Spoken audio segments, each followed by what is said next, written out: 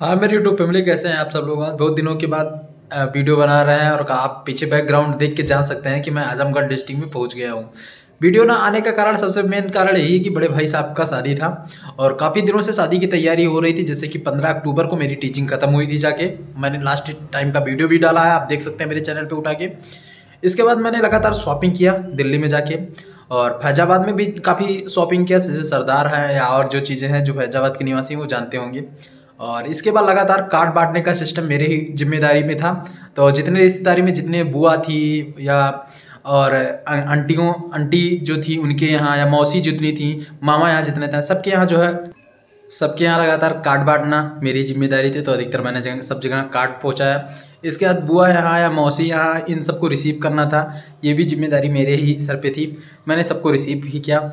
इसके बाद लगातार तिलक, जैसे कि आप जानते होंगे कि सत्रह नवंबर को मेरे यहाँ जो है, श्रीमद् भागवत कथा का प्रा- प्रारंभ हुआ था सॉरी और इसके बाद जाके तेईस तारीख को उसका हवन था। और तेईस तारीख को हमन जाके हुआ। तेईस तारीख को डेट था, लेकिन कुछ आपत्तिजनक कारणों की वजह से उसको टाल के जो है चौबीस तारीख को कर दिया गया।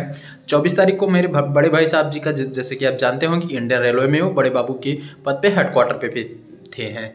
और हेडक्वार्टर का मैंने आपको ज़िक्र दिखाया था। तो चौबीस तारीख को उनकी तिलक थी। तिलक उसी दिन हवन भी था, उसी दिन तिलक भी थे। तो पूरा मैनेजमेंट जो था, हम ही लोगों को संभालना था। तिलक बहुत अच्छा हुआ, जितना उम्मीद नहीं था, उससे भी कहीं ज़्यादा अच्छा हुआ। जितना फैशनेबल करना चाहिए था, जितना मतलब ट्रेंड ट्रेड में चल रहा है, सारी चीज़ों का व्यवस्था हुआ था और टेन ट्वेंट, सब चीज़ मैनेज हुआ मतलब अच्छी तरीके से हुआ। सब जितने रिश्तेदार थे, जितने यार मित्र थे, सब खुश हुए। इसके बाद चौबीस तारीख को तिलक था, अट्ठाईस तारीख को शादी था। इसके बाद चार दिन का मौका मिला हुआ था तो जो शादी का और चीज़ बचा हुआ था, उसको लगातार लाना या जो और चीज़ों, चीज़ें इकट्ठा करना था, उसको लगातार किया गया।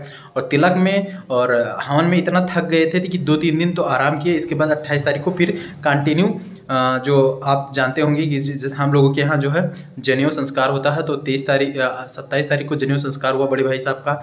उसमें पूरा दिन चला गया और उसी दिन जो है और चीज़ करवाना था, जैसे कि फेशियल या जो चीज़ होता है लड़कों का, उनका बड़- बड़े भाई साहब का तो उनके साथ में जाके उनका वो तैयार, उनको तैयार करना प्लस जो है उनको उसी दिन उनका हल्दी था तो हल्दी का प्रोग्राम पूरा अरेंज करना, सत्ताईस तारीख को हाँ मेरे घर पे। अट्ठाईस तारीख को शादी थी, शादी का पूरा प्रोग्राम हो तो जानते हैं, शादी के दिन पूरा मैनेज करना या कैसे कितनी गाड़ियाँ आ रही डीजे कब आएगा, या जो उत्तर प्रदेश की शादियों में होता है जैसे कि आप जानते होंगे, भांगड़ा वाले कब आएँगे डीजे कब आएगा, कब से चलना है बारात पोस्टर कहाँ कहाँ लगेगा, दूल्हे की गाड़ी कहाँ पर सजेगी, सजाने वाला मालिक कब तक आएगा? तो सारी ज़िम्मेदारी ये थी सब थी। उसको अरेंजमेंट करना था, देखना था। तो ये सब अरेंजमेंट अट्ठाईस तारीख को सुबह से लेकर दो बज गया करते करते और इधर भाई बड़े भाई साहब जी दो बजे से तैयार होना भी शुरू कर दिए थे। तो हमारे बड़े भाई साहब जी जो पाँच बजे तक रेडी हो गए थे।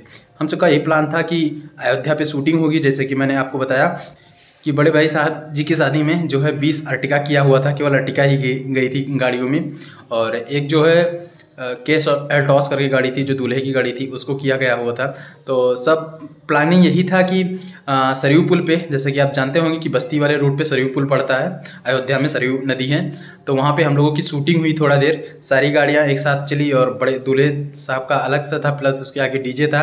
तो ये सब सारी क्लिपें थी।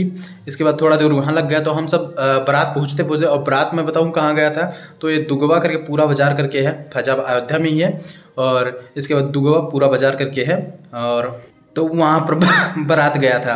तो अट्ठाईस तारीख को बरात गया पूरा रात में फ़ंक्शन चला पूरा पा, पूजा पाठ हुआ जितना भी हिंदू धर्म में सनातन धर्म में होता है उसको किया गया। उनतीस तारीख को बरात सुबह जो फ़ंक्शन होता है जो बैठकी का होता है या जो खिचड़ी खिलाने वाला होता है ये सब होते होते बज गया बारह। बारह बजे हम लोग अपने घर पे पुनः आए। सारे कुछ रिश्तेदार जो है रात में ही चले गए थे कुछ रिश्तेदार बचे हुए थे जो सुबह साथ में ही हम लोगों के आए। जैसे कि बीस गाड़ियों में कुछ रिश्तेदार की कुल मिला के तीस गाड़ियाँ गई थी आर्टिका बड़े भाई साहब की शादी में। एक एक दूल्हे की गाड़ी थी। तो सब मिला के जो है सब गाड़ियाँ चली आई थी। तीन या चार अटिका बेची हुई थी सुबह। वो साथ में आई और उनतीस तारीख बारह बजे हम लोग अपने घर पे पहुँच गए। इसके बाद तीस तीस तारीख का महीना था, तीस भी था और एक तारीख को फिर गौना था। तो जाना था रिसीव करने तो स्विफ्ट डिज़ायर हुआ था और तीन चार गाड़ियाँ और थी। तो कुल मिला के इक्कीस बाईस लोग गए गौना लाने। इसके बाद चार तारीख को चौथा हुआ। जैसा कि जानते हैं कि हम लोगों के अवध क्षेत्र में चौथ का सीन होता है। तो सीन हुआ तो इसी कारण मैं इतना बिज़ी चल रहा था और डेढ़ महीने के दौरान इतना जगह घुमा, घुमाई किया गया या इतना कारण बांटा गया या जो भी चीज़ हुआ तो उसी में इंक्लूड हुए थे। और वीडियो ना आने का कारण यही था। दिन ब दिन मैंने आपको डिवाइड करके बताया कि ये ये दिन में मैं यहाँ यहाँ बिज़ी था। और पूरा जिम्मेदारियाँ जो है हम ही लोगों के सर पे थी तो अधिकतर सब चीज़ किया गया, सब चीज़ माता रानी की दुआ से अच्छे से बीत गया। और आज पुनः जो पीछे बैकग्राउंड देख रहे हैं तो मैं आजमगढ़ में आ गया हूँ। आप लोग अगर अभी तक मेरे चैनल को सब्सक्राइब नहीं किया तो चैनल को सब्सक्राइब कर लें। अब आगे वाले समय में कंटिन्यू वीडियो आती रहेगी, आप मेरे इस चैनल पर अंकित इलाहाबादी पे। तो आप चैनल को सब्सक्राइब कर लीजिए। जितना भी बी का, महाराज सोहेल यूनिवर्सिटी से, या बी की और जो जानकारी होंगी सी की जानकारियाँ होंगी, मैं सारी देता रहूँगा आपको। जय हिंद।